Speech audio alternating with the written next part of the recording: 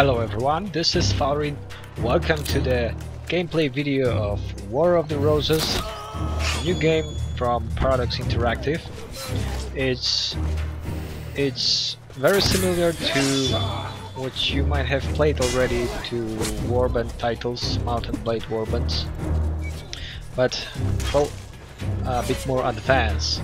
And while there is plenty of very new interesting systems and the game looks so much sweeter uh, some things some things uh, like the mounted combat in this game uh, lacks something from from the warband it's it's not so so intuitive, so enjoyable, but the rest, the melee combat, ranged combat, it's all, all as as great as it as they were in, in the Warband and yet improved. So it's it's really a blast playing this this game unless unless you aim for for the mounted combat alone.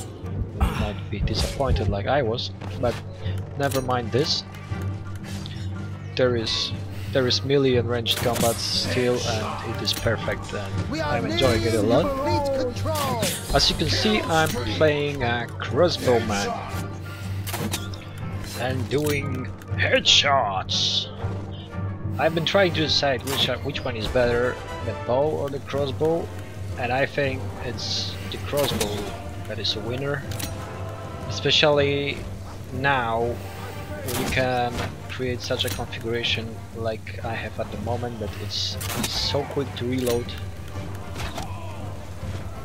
Well, enjoy the gameplay from from the crossbowman perspective.